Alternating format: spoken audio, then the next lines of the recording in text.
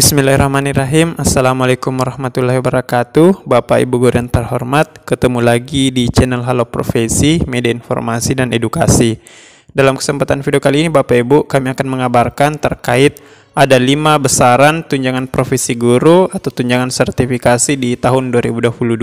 Nah, tunjangan ini baru Bapak Ibu ya karena di tahun 2021 kemarin hanya ada empat jenis tunjangan profesi guru. Nah, mulai tahun 2022 ini yang dibawahi oleh Kemendikbud itu mengucurkan lima jenis tunjangan profesi guru di tahun 2022.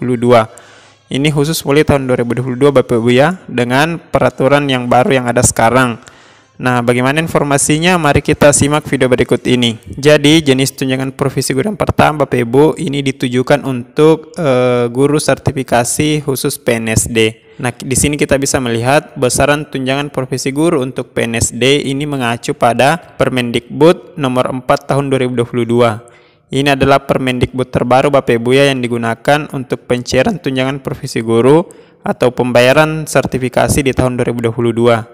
Ini besarannya Bapak Ibu satu kali gaji pokok per bulan. Nah, khusus untuk pembayarannya ini per triwulan Bapak Ibu ya. Yang terbaru di aturan Permendikbud terbaru ini karena sudah mematok bahwa pembayaran atau tunjangan profesi guru itu dibayarkan di bulan Maret bulan depan Bapak Ibu ya kalau tidak ada halangan. Nah terkait besaran gaji pokok PNS daerah ini Bapak Ibu masih mengacu pada peraturan pemerintah nomor 15 tahun 2019. Jadi aturan ini masih digunakan sebagai acuan untuk pembayaran gaji pokok PNS itu tersendiri. Nah, kita bisa melihat di sini PP nomor 15 tahun 2019 untuk di golongan 3 Bapak Ibu ya. Kita langsung saja ke golongan 3 karena khusus guru itu sudah tidak ada lagi pengangkatan untuk golongan 1 atau golongan 2. Jadi, minimal golongan 3 dengan status atau ijazah S1 atau ED4. Nah, di sini Bapak Ibu kita melihat untuk masa pengabdian 0 tahun ini rentang gajinya di angka Rp2.579.400 sampai di Rp4.236.400. Ini khusus PNS dengan golongan 3 Bapak Ibu ya yang di sebelah kiri ini. Nah, khusus untuk PNS di golongan 3, di golongan 3B ini rentang gajinya antara Rp2.688.500. Untuk gaji tertingginya Rp4.415.600. Ini tergantung masa kerja Bapak Ibu ya. Di sini kita bisa melihat 0 tahun hingga 32 tahun. Kemudian Bapak Ibu, di sini untuk uh, golongan 3C, PNS itu menerima gaji pokok di rentang Rp2.802.300 hingga di Rp4.602.400. Untuk di golongan 3D tersendiri, ini rentangnya Rp2.920.800 hingga Rp4.797.000. Nah, ini untuk golongan 3 Bapak Ibu ya. Nah, untuk Bapak Ibu yang di golongan 4, ini di golongan 4A eh, rentang penggajiannya itu dimulai dari Rp3.044.300 hingga di Rp5 juta rupiah. Ini tergantung masa kerja golongan juga Bapak Ibu ya.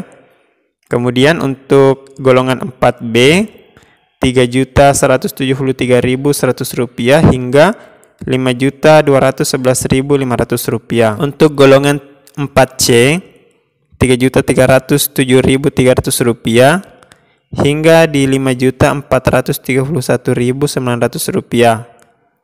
Kemudian golongan 4D Rp3.447.200 hingga Rp5.661.700.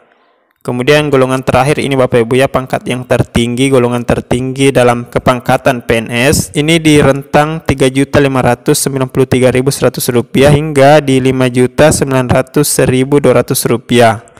Ini hampir 6 juta Bapak Ibu ya.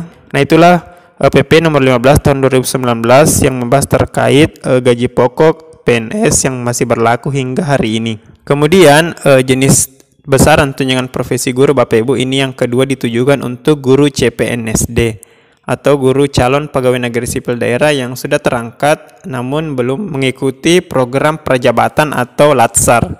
Nah, besaran TPG untuk guru CPNSD ini Bapak Ibu masih diatur di Permendikbud nomor 4 tahun 2022. Ini masih menggunakan peraturan terbaru yang dikeluarkan di tahun 2022 itu besaran e, sertifikasinya itu satu kali gaji pokok dikali 80% per bulan. Jadi karena masih status CPNS, jadi gajinya masih 80% dari gaji pokok. Besaran gaji pokok ini masih mengacu juga dengan PP nomor 15 tahun 2019. Yang mana besaran gaji pokok untuk CPNS golongan 3A ini di angka 2.579.400 rupiah dikali 80%. Total yang didapatkan adalah Rp2.063.520. Ini gaji golongan CPNS 3A yang masih berstatus CPNS Bapak Ibu ya karena belum 100% penggajiannya. Nah, jenis penerima tunjangan profesi guru yang ketiga Bapak Ibu ini ditujukan untuk guru non PNS yang sudah in passing. Jadi, eh, besaran TPG untuk guru non PNS in passing ini mengacu pada Persesjen Kemdikbud nomor 18 tahun 2021. Jadi ini adalah aturan yang mengatur terkait uh, pemberian tunjangan profesi atau sertifikasi bagi guru non ASN Bapak Ibu ya. Ini penggajiannya satu kali gaji pokok PNS per bulan. Yang mana untuk gaji pokok PNS ini Bapak Ibu seperti yang kita bahasakan tadi mengacu pada PP nomor 15 tahun 2019 mengenai penggajian aparatur sipil negara atau PNS salah satunya Bapak Ibu ya. Karena ASN itu ada dua PNS dan P3K atau bisa juga sesuai dengan yang tertera di SK Impasing sesuai dengan peraturan persisjen yang ada di atas ini Bapak Ibu ya. Kemudian Bapak Ibu jenis tunjangan profesi guru yang keempat ini untuk guru non PNS yang non impasing atau belum impasing. Nah, besaran tunjangan profesi guru untuk non PNS yang belum impasing ini masih mengacu pada Persesjen Kemdikbud nomor 18 tahun 2021 yang mana besaran tunjangan profesi gurunya itu sebesar Rp1.500.000 per bulannya. Jadi bagi Bapak Ibu yang non PNS yang belum impasing eh, segera mengurus SK impasingnya ya agar tunjangan profesi gurunya itu bisa setara satu kali gaji pokok PNS. Nah selanjutnya yang kelima Bapak Ibu besaran tunjangan profesi guru yang kelima ini ditujukan untuk guru P3K.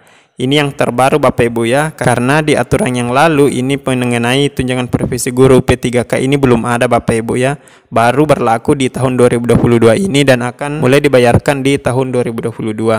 Mengenai besaran tunjangan profesi guru, guru P3K ini mengacu pada Persesjen Kemendikbud nomor 18 tahun 2021 ini Permendikbud yang mengatur terkait besaran tunjangan profesi guru guru P3K. Itu besarannya Bapak Ibu satu kali gaji pokok atau sesuai SK. Nah, gaji pokok P3K ini mengacu pada Perpres nomor 98 tahun 2020.